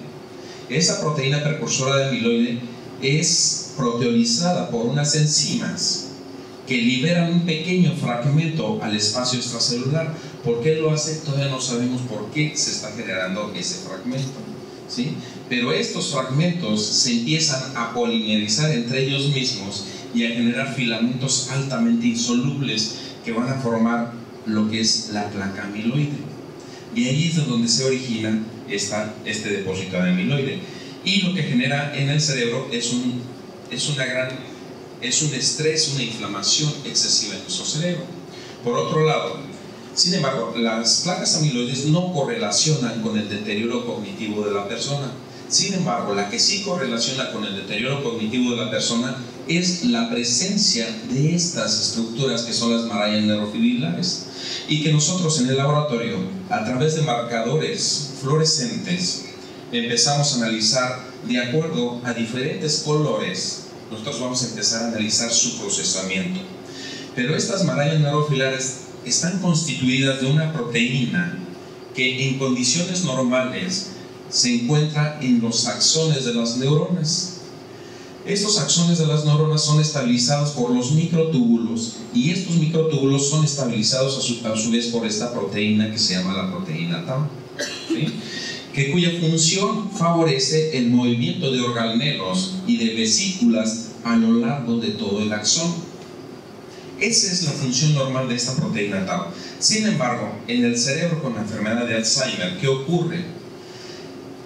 Como les comentaba, la neurona se conecta una a otra a través de su axón y esta, este, axón es eh, estabilizado por todos los paquetes de microtúbulos que se tienen. Sin embargo, en la enfermedad de Alzheimer, esta proteína que es como el cementante de estos microtúbulos, se empieza a desprender de ella y se empieza a autoensamblar. Este autoensamble finalmente lo que va a generar son nuevamente filamentos, pero de proteína tau. Y esta acumulación se va a generar la pérdida de los axones, la va a individualizar y finalmente con la acumulación masiva de estos filamentos van a matar a la neurona. Y esto que nosotros estamos viendo, la presencia, por el número de presencia en áreas específicas, realmente es lo que nos va, o lo que va a corresponder a lo que son los síntomas clínicos de la enfermedad. ¿sí? Tan simple y tan sencillo, pero tan complejo, que a pesar de que nosotros hemos eh, tratado de entender este procesamiento, aún no sabemos qué ocasiona o qué desarrolla esta patología. Podemos ver, por ejemplo, aquí, ven ustedes un corte de hipocampo, en donde, se ve la corteza entorrinal y lo que es propiamente el hipocampo, que está constituida por el área del subículo CA1 y CA4. La vía de entrada en condiciones normales de la información de la neocorteza hacia propiamente el hipocampo es a través de la capa 2 de la entorrinal y de la corteza trasentorrinal manda prolongaciones hacia las partes profundas del hipocampo y la forma en que responde el hipocampo es a través, mandando la información a través de sus acciones a la capa 4 de la entorrinal. De la capa 4 de la entorrinal entonces ya sale la información. Este proceso se llama, eh, ahí se me olvidó, es la vía perforante, ¿sí? Esta es la vía perforante pero en la enfermedad de Alzheimer, ustedes están viendo estas estructuras negritas que están viendo aquí son neuronas muertas. ¿Sí? Imagínense lo que es, este es un corte de 50 micras. Entonces imagínense realmente en el tamaño de un eh, del hipocampo, que es de aproximadamente un centímetro, un centímetro y medio de espesor por una longitud de 2.5 centímetros la cantidad de neuronas que se están muriendo en esa área. Adicionalmente, tenemos que ver también que hay otra acumulación que es la proteína eh, del péptido beta amiloide en las amiloides. ¿sí? Entonces, lo que estamos teniendo aquí, pero que realmente correlaciona con todo esto, es la presencia de estas marañas neurofibrilares, son las que realmente correlacionan con el deterioro cognitivo de la persona. Ahora bien, se ha tratado por imagenología buscar una estructura o medir lo que es propiamente el hipocampo para ver si la, la, dimensión nos puede indicar los primeros síntomas de este proceso degenerativo. Y se han tomado imágenes en diferentes etapas de, del proceso degenerativo y vean, prácticamente se ve ya bien en esta parte. ¿sí? Sin embargo, si nosotros comparamos un caso normal con este, prácticamente sería el mismo no hay diferencias. ¿sí? Y sobre todo, ¿por qué? Porque realmente los primeros síntomas clínicos aparecen en las etapas 2, digo 3 y 4 de un estudio que hizo el profesor Brack en 1991, donde él empezó a analizar y buscar la presencia de estas lesiones, de estas marañas neurofibrilares en el hipocampo y analizó más de mil cerebros, en donde empezó a analizar cómo se iban presentando las áreas que iban invadiendo estas marañas neurofilares y él observó que en las etapas preclínicas las marañas neurofilares empiezan a acumular en la área trasentorrinal, posteriormente la área entorrinal de la capa 2 empieza a invadirse, pero donde empiezan los síntomas bien, es cuando ya tiene una gran invasión de estas lesiones. Y obviamente la etapa 5 y 6 pues es cuando, donde ya tiene la demencia completamente establecida. Sin embargo, para poder analizar todo este procesamiento y buscar un método de diagnóstico temprano, es necesario que nosotros entendamos cómo es el comportamiento de la agregación de la proteína tau en el soma neuronal. Y esto empieza con una tinción granular que, final, que continúa con un fusionamiento de ya de filamentos altamente insolubles de proteína tau que invaden el cuerpo de la neurona y que finalmente van a matarla. Pero este procesamiento es tan dinámico que realmente hay estos cambios posttraduccionales en la proteína tau que están involucrados en lo que es la proteólisis endógena y la hiperfosforilación. Son grupos fosfatos que se están adicionando en la hiperfosforilación a la molécula de tau a lo largo de toda la molécula de tau. Sin embargo, la proteólisis endógena es la fragmentación de la proteína tau en diferentes sitios.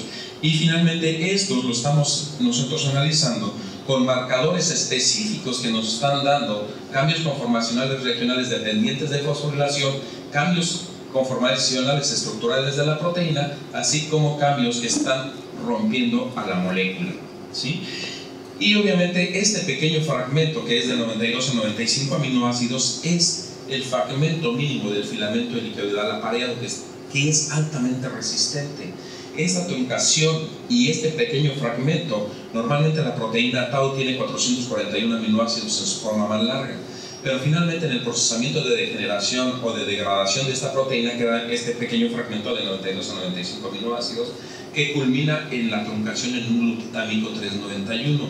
Y este nosotros lo estamos detectando por un anticuerpo 423, que este lo desarrolló un grupo en Inglaterra del profesor Claude Wishy, y finalmente eso es lo que nosotros estamos analizando para tratar de entender y generar modelos moleculares que realmente nos estén indicando estos cambios tanto conformacionales, proteólisis en las marañas neurofibrilares, pero que hemos podido ver que hay cambios inclusive más sutiles como es la fosforilación, pero que estos se pueden observar desde las etapas más tempranas de la degeneración.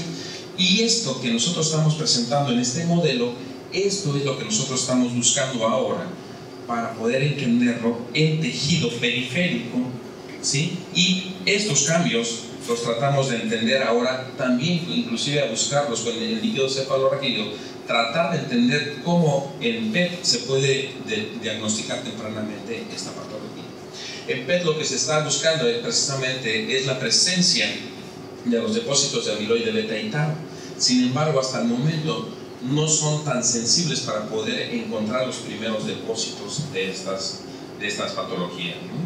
Pero lo importante es que al entender nosotros esta patología, el procesamiento molecular que va a asociarse realmente con el deterioro de la funcionalidad de la funcionalidad, funcionalidad de la persona, el deterioro cognitivo, ¿sí? esto lo que nosotros estamos tratando de buscar son marcadores en tejido periférico que nos pueda indicar este procesamiento degenerativo y expresarse, por ejemplo, hay un estudio que hicieron en piel, eh, de personas con enfermedad de Alzheimer y encontraron que la proteína tau fosforilada se encuentra abundantemente mucho más expresada que en los casos normales.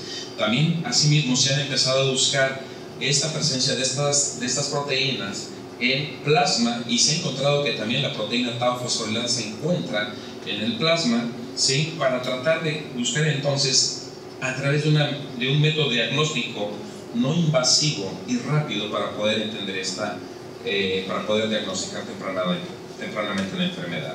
Este es un ejemplo, por ejemplo, es un ejemplo que les pongo de la presencia de la amiloide beta a través del PET, ¿sí? en donde están poniendo, analizan un cerebro eh, con Alzheimer y vean, lo más intenso es la presencia del depósito del amiloide beta, ¿sí? que se está muy bien presentando en el cerebro. Sin embargo, y comparándolo con el normal, pues bueno, obviamente se ve muy bien la diferencia. Sin embargo, hay algunos casos que no presentan ningún deterioro cognitivo y vean la cantidad de depósito de amiloide beta que se encuentra. También lo han tratado de hacer con el, la proteína tau fosforilada, pero ven, estas son las incipientes, ¿sí? pero ven, el hipocampo, que es donde inicia el deterioro cognitivo, prácticamente se mantiene limpio. Aquí hay que entender ¿Qué es qué procesamiento o qué es la proteína tau que nosotros estamos buscando aquí? Si es la proteína tau truncada, si es la proteína tau intacta o si es la proteína tau fosforilada, que normalmente lo que se busca es la proteína tau intacta y la proteína tau fosforilada. Y esto tenemos que también entenderlo, que esta proteína tau inclusive se puede o se ha asociado con mecanismos de protección, sobre todo la proteína tau fosforilada. Y tratamos de entender esta patología viéndola como realmente un único proceso degenerativo que su presencia y abundancia puede diagnosticarnos la enfermedad de Alzheimer, pues estamos equivocados. ¿Por qué? Porque el procesamiento es el que nos va a dar realmente si es o no es Alzheimer, porque inclusive la proteína tau fosforilada, la proteína tau intacta, también se encuentra abundantemente en otras patologías como es la demencia frontotemporal. En el laboratorio estamos buscando este método de diagnóstico y hemos encontrado que la proteína tau en epitelios orales se encuentra, en este caso lo estamos teniendo en color verde en ICB asociado a los, a, a los núcleos del epitelio, ¿sí? el epitelio celular. Y vean, en azul está teñido los núcleos. Entonces, cuando vemos, eh, esta es una persona normal, pero cuando lo hicimos en personas con, con demencia, vean, lo pintamos en este caso en color rojo y la expresión de la proteína tal deja estar en puntos y se comienza a expresar abundantemente en el citoplasma. Esto es una de las cosas que nosotros estamos tratando de entender ahora, el procesamiento molecular que nosotros estamos viendo en el cerebro, ahora estamos analizándolo en el epitelio oral. Aquí les voy a dar un tiempo para que se relajen, ¿sí? estiren sus manos, pero bueno, como ya, ya tenemos poco tiempo, les seguimos. Y entonces, otra de las cosas que también, que ya hace un momento hablaron sobre factores de riesgo de la enfermedad de Alzheimer, son precisamente los tramos craneoencefálicos, que generalmente el estudio que realizó el profesor, el profesor en Estados Unidos, ¿sí? en jugadores de fútbol americano, observó clínicamente estas alteraciones, pero cuando analizó el cerebro de estas personas, encontró que había depósitos o expresión de marañas neurofilares, pero estas marañas neurofilares no se presentaban en el hipocampo, sino lo que se estaba dañando era la corteza frontal y temporal. Y la clínica sugería como si fuera un tipo de demencia frontotemporal, aunque realmente el proceso de demencia frontotemporal por la característica clínica es diferente. Y para poder entender la enfermedad de Alzheimer, nosotros tenemos que entender otras enfermedades neurodegenerativas, así como entender el procesamiento normal de la proteína tau y otras enfermedades neurodegenerativas que se llaman taupatías, para poder encontrar un biomarcador específico que nos pueda definir o nos pueda diferenciar lo que es la enfermedad de Alzheimer, como la demencia frontotemporal, que muchas veces se llega a confundir, inclusive la demencia vascular también es muy asociada con la enfermedad de Alzheimer. Y en este caso, por ejemplo, podemos ver la expresión de la proteína tau fosforilada, pero se encuentra en células gliales, aunque se encuentra también en neuronas, pero es mucho más abundante en células gliales. Y esta es la lesión característica que define a una persona con demencia frontotemporal. Hay otra enfermedad también que es asociada a demencia, que se llama demencia con predominancia de marañas, que es muy parecida y semejante y correlaciona también la presencia de, esta, de estas marañas neurofilares, que son estas neuronas que ustedes están viendo, estas marañas, pero esta enfermedad se desarrolla después de los 85 años de edad. La diferencia con Alzheimer es que tiene la presencia de marañas neurofilares, e inclusive esta es una de las pocas enfermedades que presentan la proteína tau truncada en el glutámico 391. ¿sí? Pero la diferencia con Alzheimer es que esta demencia con predominancia de marañas no tiene depósitos de amiloide beta. El deterioro de una neurona es mucho más acelerada que en la enfermedad de Alzheimer. Las otras taupatías tienen neuronas globosas, pero principalmente se están asociando con procesos de fosforilación. Pero bueno, también tenemos que entender que el proceso de fosforilación de la proteína tau no es exclusiva de un proceso degenerativo, ¿sí? Todos tenemos esta proteína tau, pero nosotros la hemos, la hemos encontrado en un estudio que hicimos en cultivos celulares, en este caso la proteína, la tubulina, la estamos viendo en color rojo, la proteína tau la estamos teniendo en color verde y el DNA, el núcleo, lo estamos teniendo en azul.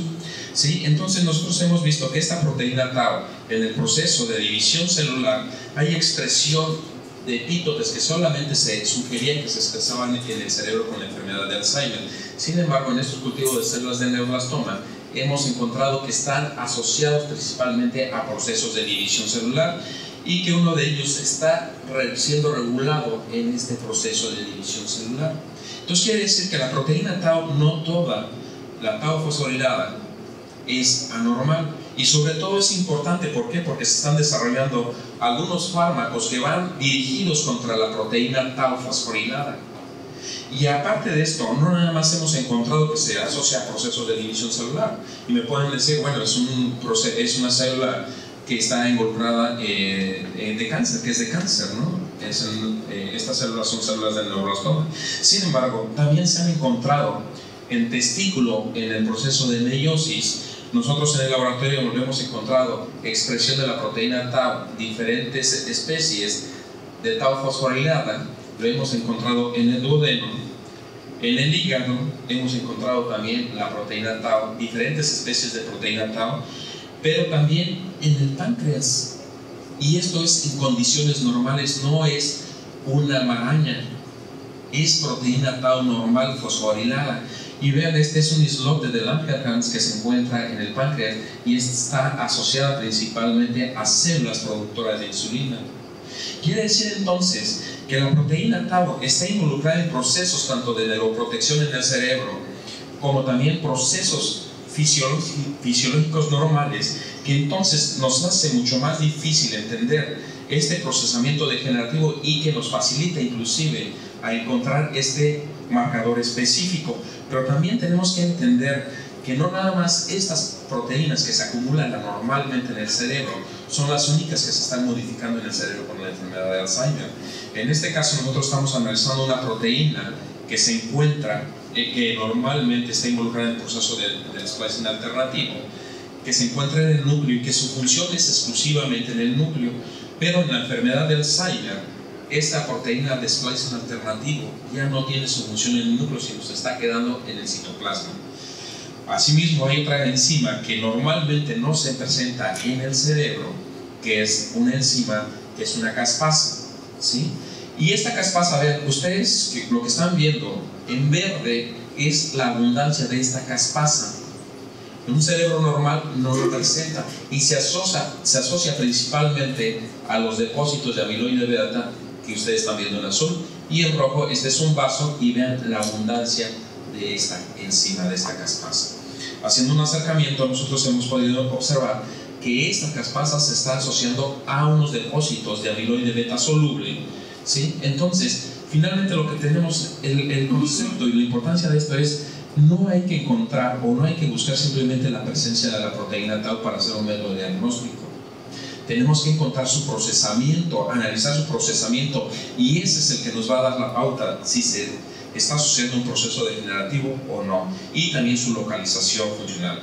Así también estamos buscando algunos marcadores que puedan reducir el costo para hacer estos diagnósticos y hemos encontrado unos colorantes que le llamamos el Red Moon y, el Dailumon que tienen afinidad por los depósitos de amiloide beta.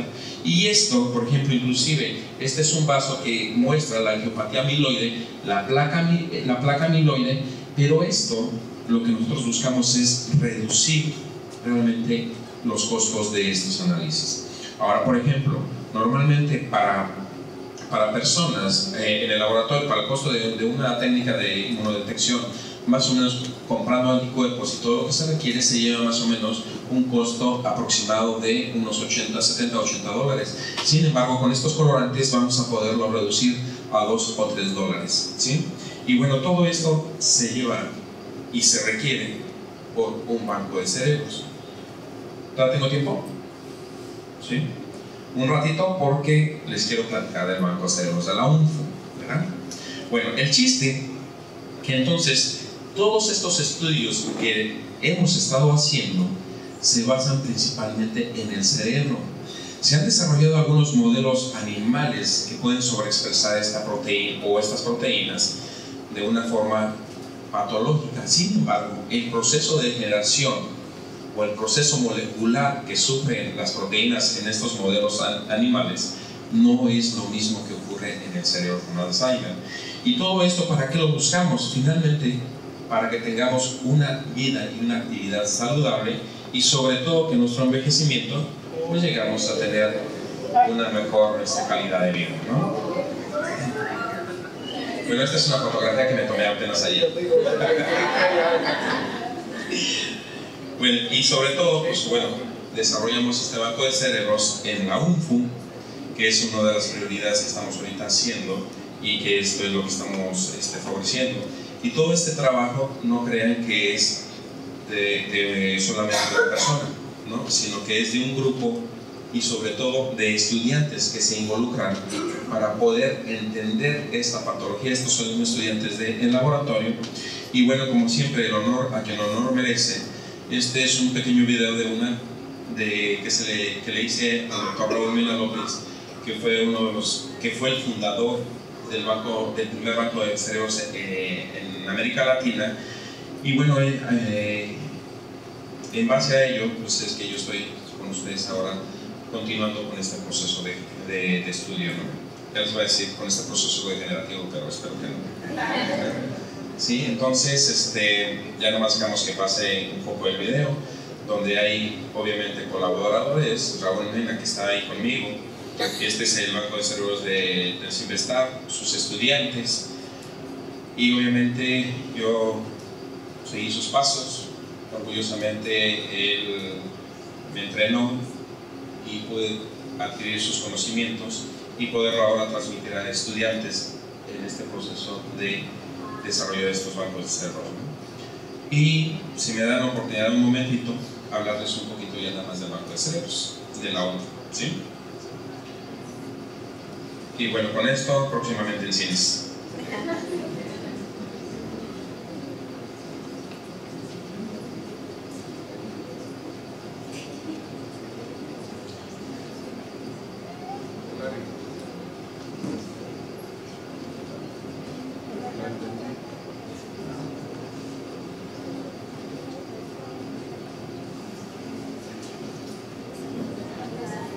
Y vean.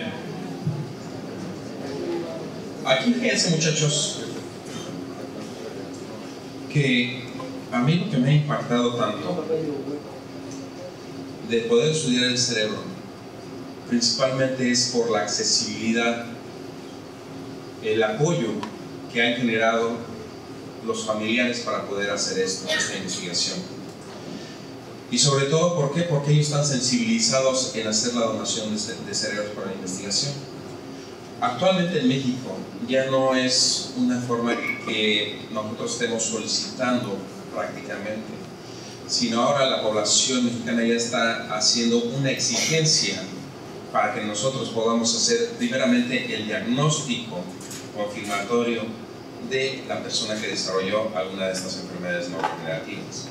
Entonces, esto, mientras nosotros empecemos a poder desarrollar más bancos de cerebros, no nada más en un país, sino que esto lo podamos generar como una red, tanto del Caribe como de América Latina, entonces esto nos va a poder ayudar a entender todo este proceso degenerativo y sobre todo que nosotros tenemos que entender, como ya lo han mencionado, que nuestra población tiende a envejecer, que dentro de las demencias la enfermedad de Alzheimer es la más prevalente que los síntomas clínicos aparecen mucho después que el deterioro molecular empieza. Sin embargo, este proceso degenerativo que ocurre en nuestro cerebro, cerebro es tan silencioso ¿sí? que nosotros, por ejemplo, este es un cerebro de un ratón transgénico donde se tiene la mutación de presidilina 1, la proteína precursora amiloide y también de la proteína tau. Aquí es importante hacerles notar que no, en la enfermedad de Alzheimer no hay mutaciones de la proteína tau, pero se puso en este ratón transgénico la presencia de la proteína tau mutada, pues para ver lo que estaba generando.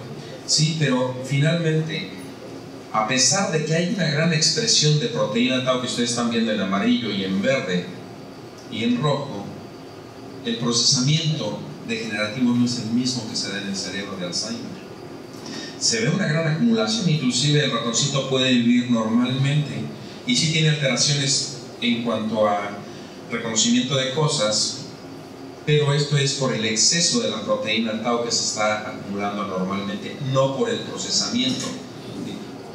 Bueno, esto que nosotros estamos viendo, tenemos que enfatizar como que en realidad ¿qué es un banco de cerebros?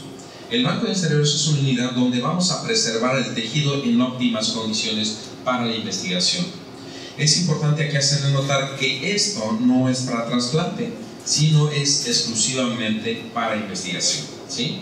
¿Qué se hace? Cuando recibimos el cerebro, cuando es fresco, este ya está fijado, pero cuando es fresco lo partimos nosotros por la mitad, un hemisferio se mantiene a menos 80 grados centígrados, obviamente se rebana, y el otro, cerebro, el otro hemisferio se mantiene en aldehídos. Y cada uno de ellos se utiliza para poder hacer este, diferentes técnicas de estudio.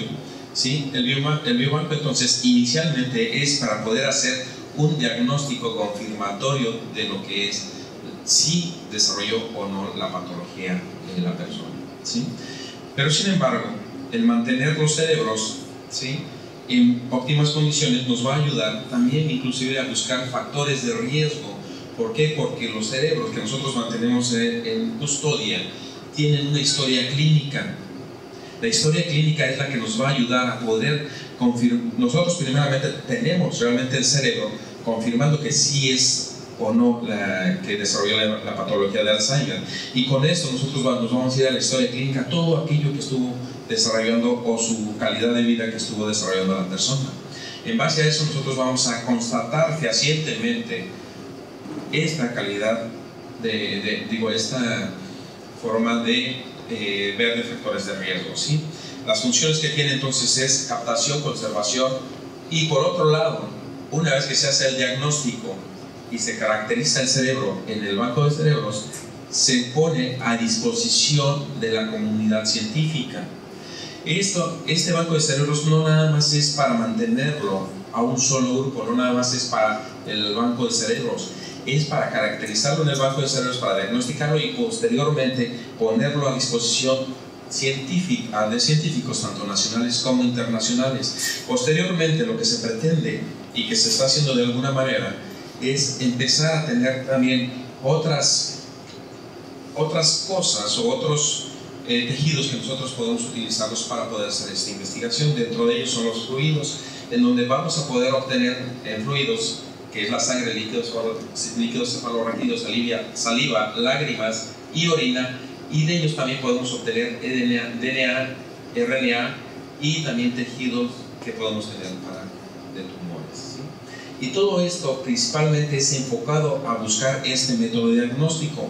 Pero fíjense, no es, a pesar de que es tan simple el proceso de donación de cerebros, que simplemente es que tenemos la funeraria con una carroza fúnebre, el centro de investigación, un hospital donde se hace la extracción del cerebro y obviamente los familiares. ¿sí? Una vez que los familiares activan o nos llaman que falleció la persona, entonces la carroza fúnebre va por allá a la casa y posteriormente lo lleva al hospital. Ahí se hace la extracción del cerebro y posteriormente el cuerpo se traslada ya sea a la funeraria o a la casa según corresponda o lo hagan eh, el efecto fúnebre de los familiares. Y una vez que se tiene este cerebro, ¿sí? ya se traslada al centro de investigación.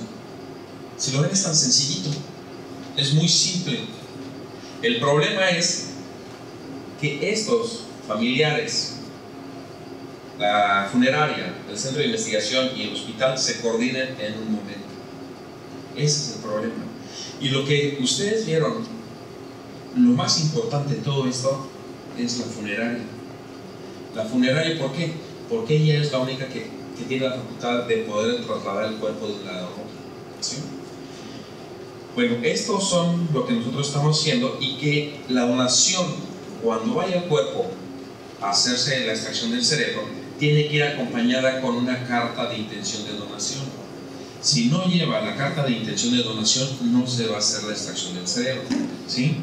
Y bueno, esto rápidamente, ya para que no se cansen, tenemos que entender y ayudar y hacer que el banco de cerebros, a pesar de que es de una institución, esto tiene que empezarse a dar a conocer para poder estudiar todos estos mecanismos moleculares de las proteínas involucradas y de otras que se pueden encontrar en este proceso para que se pueda hacer la difusión, investigación y caracterización en el banco de cerebros. Pero ¿qué se hace en el banco de cerebros?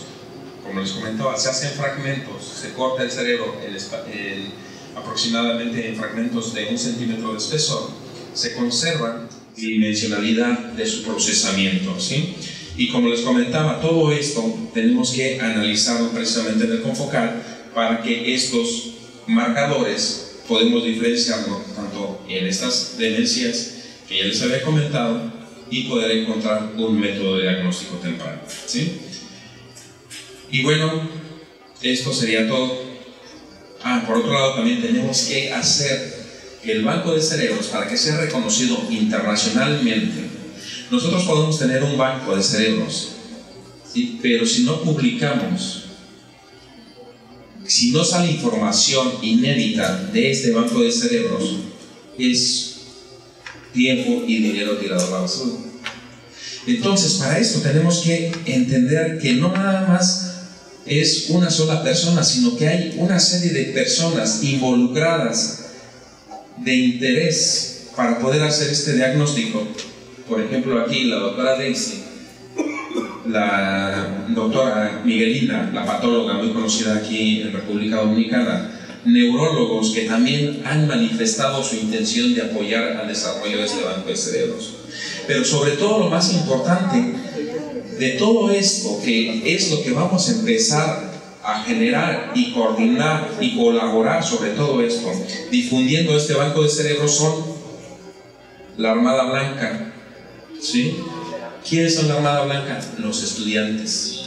Si en estudiantes, a pesar de que tengamos un banco de cerebros, que tengamos investigadores interesados en desarrollar este banco de cerebros, si no hay estudiantes interesados en este análisis, realmente es una tierra infértil.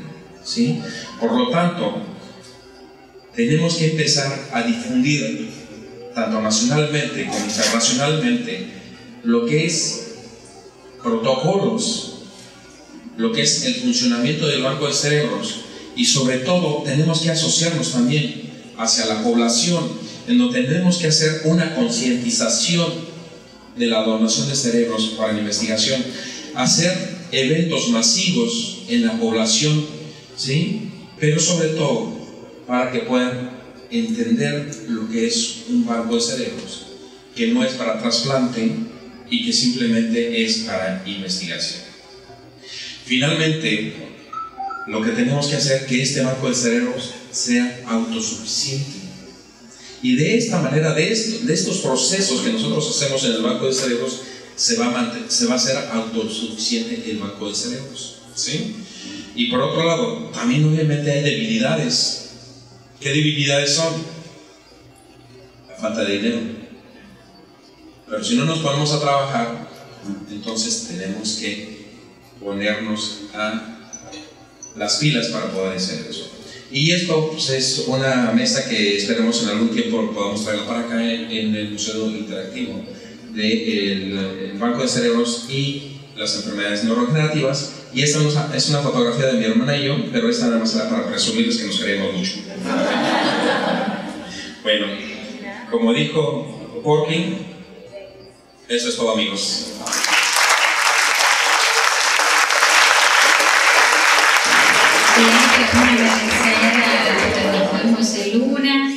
al doctor Juan Gibre y a la doctora Ivonne Jiménez. Muchísimas gracias.